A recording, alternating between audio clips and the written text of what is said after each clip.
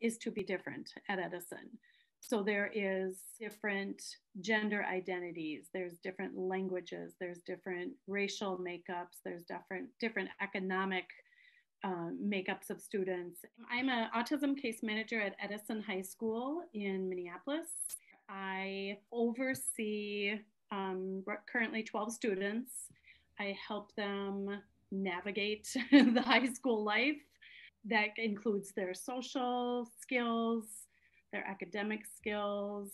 I think the most thing my kids are missing is just that human connection of being together in the in the classroom. I think there's some that are struggling just emotionally with it a little bit more, but know that like this is the safest way to do it too, but to just miss the the connection more than others. If I had my choice given what, you know, how the the virus is going right now, um as far as having kids in class or not in class. I mean, we had that debate back in November of, you know, we're going to have this targeted support and bring certain groups of kids back in. And if we get to a point to be able to do that, to target certain kids that are seriously struggling in this kind of situation, like I'm in favor of that. I'm not in favor yet until it is, you know, deemed truly safe, like when, you know, we've all been vaccinated or something, to bring everybody in full in person. I think the, the detriment to bringing kids in and then if the virus gets worse or there's a case and then we all have to go back home and be back in distance learning, I think that would be devastating to kids. I just think that chaos of the change would be worse than just staying in distance learning.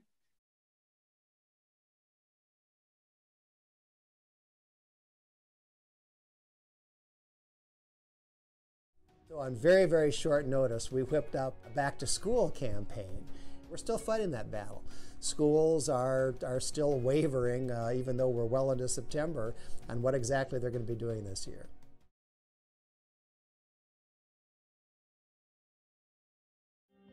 And my opponent, Tina Smith, do not open K 12 schools in the fall, then by God, you ought to get a property tax refund so you can find education someplace else. And I think this single issue transcends political parties. This has nothing to do with Republican and Democrat, right or left. This is a simple matter of right and wrong. And it is wrong to keep kids locked up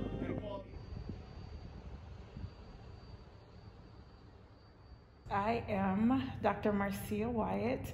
I am a second grade educator at Elizabeth Hall um, International Elementary School in North Minneapolis. I've been with the Minneapolis Public Schools for 25 plus years.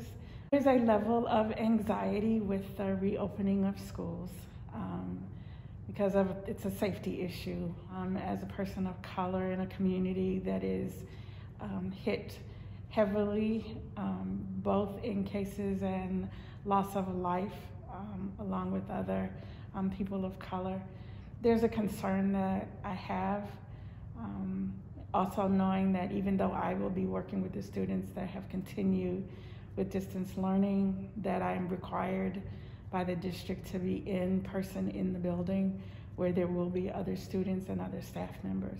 So safety is a, a huge concern. It's Monday, February 1st. I'm sitting in the parking lot of my school and I'm here because we're going to be in the building for the first time um, as a staff since uh, last March, since the pandemic started. And um, I guess we're practicing for the transition for students being back in the building. It's not safe. We're still in a pandemic. Um, teachers are asking a pretty simple thing, which is, can you just wait until we get vaccinated? Since many of us are in a very high risk category.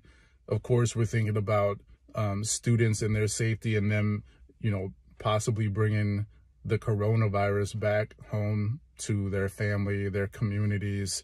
We know that this virus has hit hardest in Black, Indigenous, and people of color communities.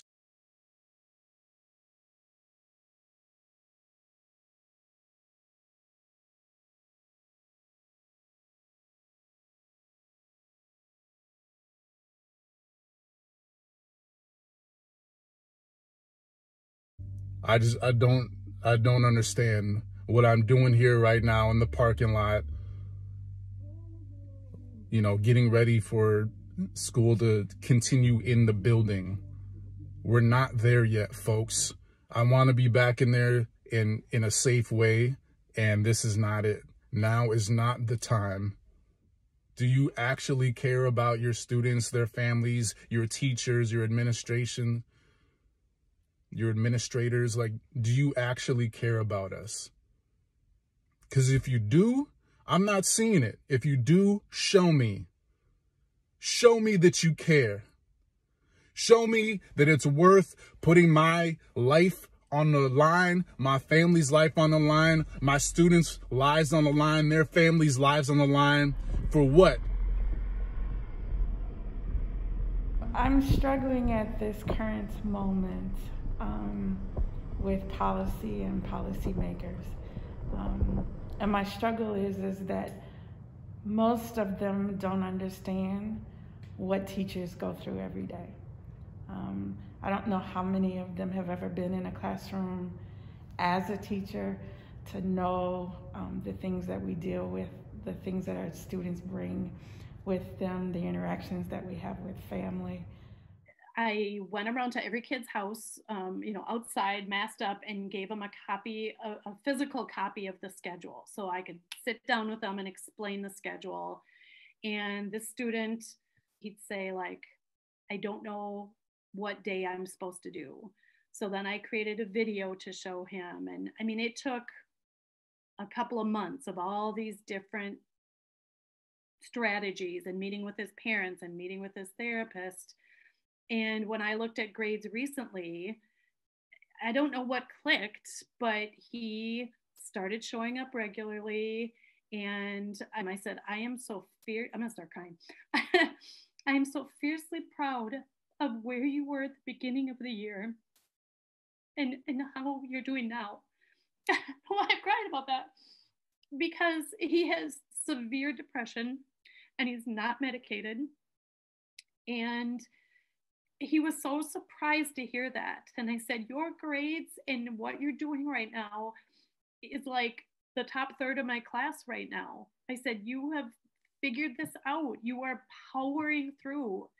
You're stronger than you realize. And that one is just amazing to me because I thought, Oh my God, I'm going to lose this kid. And he's doing it. Somehow he's doing it, you know. It, and I tell the kids, I, you know, when the kids are complaining about it, I'm like, we all agree this sucks. like, I'm not going to play like this is the way we like doing this. You know, it's difficult. This has not been good for anyone. We want our students in building. We want to hug them. We want to let them know that we care about them and we love them. And we do that even in the distance learning, but it just looks differently when it's in person. And I understand that parents who are sending their children back to school you want them out the house. They've been in there locked up. But we want you to be mindful of, especially if you are in a community of color, that your children, that the teachers that they have that are teachers of color, we are at greater risk if we contract COVID. It is either life or it's death. I would say to um, parents, please have a conversation with your child's teacher um, and ask them how this is affecting them. Please know that your child's teacher did not make this decision to have your child return back to school because each one of us wants them to be safe. We want you to be safe. And most importantly, we want to be safe for our own family and to those who are making these decisions, please listen to the individuals who have to show up every day, now back in a building, wearing a mask, wearing gowns and gloves, doing the amount of cleaning that has to be done. Is distance learning perfect? No. But death should not be an option for anyone that is involved in education.